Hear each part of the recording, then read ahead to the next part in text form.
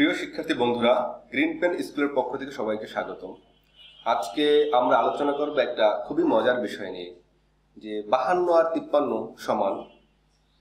একটা প্রবাদ আছে বাংলায়, যে যাহাই বাহান্ন, তাহাই তিপ্পান্ন।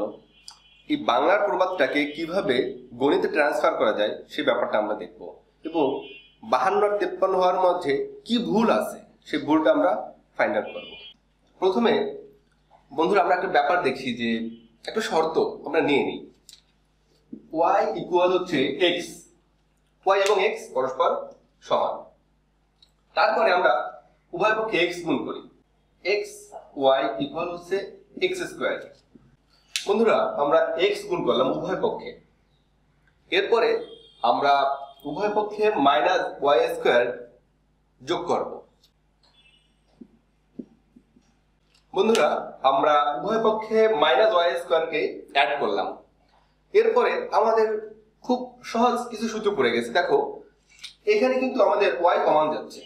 এখানে ওয়াই আছে, এখানে ওয়াই আছে, আমাদের ওয়াইটা কমান যাচ্ছে। আর এইখানে একটা সূত্র পড়ে গেছে a square minus b square তাহলে a plus b into a minus b আমরা সেটা করে দেখি। বন্ধুরা গত সূত্রগুলো আমরা বসিয়ে দিলাম। এখন আমাদের সিস্টেম হচ্ছে যে এটা গুণাকারে আছে এক্স মাইনাস ওয়াই সেটা সাইড চেঞ্জ করলে ভাগ হয়ে যাবে। এটা এটা কাটা। Y equal x plus y খুব সহজে পেয়ে গেলাম। যেহেতু আমরা বলে নিয়েছিলাম যে ওয়াই এবং এক্স পরস্পর সমান, সেখানে আমি ওয়াই এর জায়গায় এক্স বসাইতে পারি। এক্স প্লাস ওয়াই এর জায়গায় আমি এক্স বসিয়ে পাই। তাহলে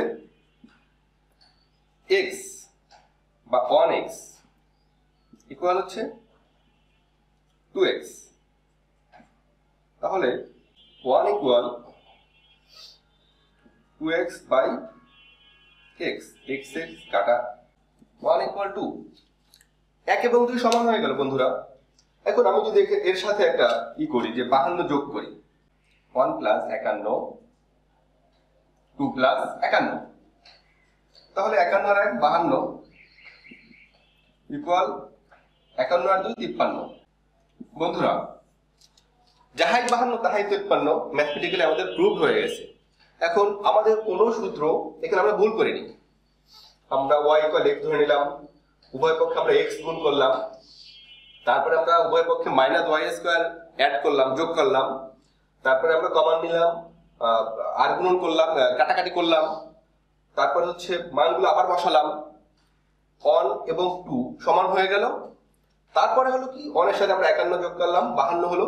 আর টু এর সাথে একান্ন যোগ করলাম, তিপ্পান্ন হয়ে গেল। উভয় পক্ষে আমরা একান্ন যোগ করে পাই। বন্ধুরা, এখানে কি ভুল? আমরা কি এটা খুঁজে বের করতে পারছি? আমাদের আজকের আলোচনার মূল বিষয়টা এখানে চলে আসছে যে আমরা একটা ভুল করছি। Zero by zero. জিরোকে জিরো দ্বারা কাটাকাটি করছি। আচ্ছা সেটা কি হয়? দেখি। বন্ধুরা, আমরা জানি যে জিরো দ্বারা জিরো ভাগ করা যায় না। এই জিরো বাই জিরো ফর্ম হচ্ছে অনির্ণীয় ফর্ম জিরোকে জিরো দ্বারা ভাগ করলে একটা ভিন্ন ফলাফল, একটা উল্টো ফলাফল আসে। এটাকে করা যায় না। গণিতবিদরা বলেছে এটা অনির্ণীয়। এটা নির্ণয় করা সম্ভব নয়। যদি জিরো বাই জিরো কাটাকাটি করে আমরা ওয়ান বসাই, তাহলে ফলাফলটা হবে উল্টা। এখন আমরা এখানে কি ভুল করলাম? একটা ব্যাপার খেয়াল করো। ওয়াই ইকুয়াল এক্স বা X equal Y X minus Y Y যখন সাইড চেঞ্জ করবে এক্স মাইনাস ওয়াই ইকুয়াল তখন জিরো হয়ে যাবে। অতএব এক্স মাইনাস ওয়াই শূন্য। এই এক্স মাইনাস ওয়াই এর মান হচ্ছে শূন্য। আমাদের একটা ফরম্যাট ছিল এরকম Y equal X plus Y X minus Y by হচ্ছে এক্স মাইনাস ওয়াই বন্ধুরা, খেয়াল করো যে এক্স মাইনাস ওয়াই যার মান হচ্ছে শূন্য। তাহলে এই এক্স মাইনাস ওয়াই এর মান শূন্য, এই এক্স মাইনাস ওয়াই এর মানও শূন্য। তাহলে আমরা কি করলাম? এটা এটা কেটে দিলাম। আসলে আমরা শূন্যর সাথে শূন্যকে কাটলাম। জিরো বাই জিরো একটা অনির্ণীয় ফর্ম এটা নির্ণয় করা সম্ভব না।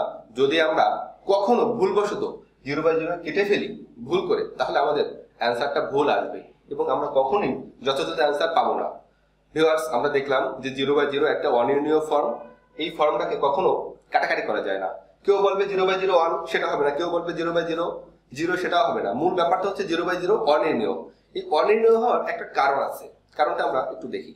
দশ ভাগ দুই, পাঁচ।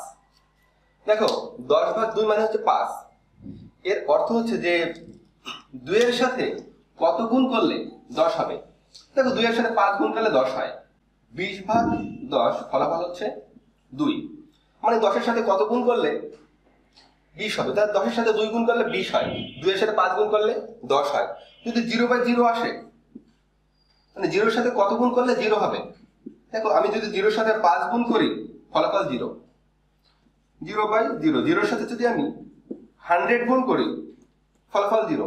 মানে আমি জিরোর সাথে যাই গুণ করি না কেন, ফলাফল সেখানে জিরো হয়ে যাচ্ছে। একটার অ্যান্সার যদি অনেকগুলো আসে, ইনফিনিট পরিমাণ আসে, তাহলে সেটা তো নির্ণয় করা সম্ভব না। এই জন্যই জিরো বাই জিরো আকারটাকে গণিতবিদ বলেছেন, এটা অসংজ্ঞায়িত সরি অনির্ণীয়। এইটাকে নির্ণয় করা সম্ভব না। ভিউয়ার্স, আমাদের উদ্যোগটি যদি আপনাদের ভালো লাগে, অবশ্যই আমাদের চ্যানেলটা সাবস্ক্রাইব করুন, লাইক, কমেন্ট এবং শেয়ার করতে ভুলবেন না। ধন্যবাদ সবাইকে।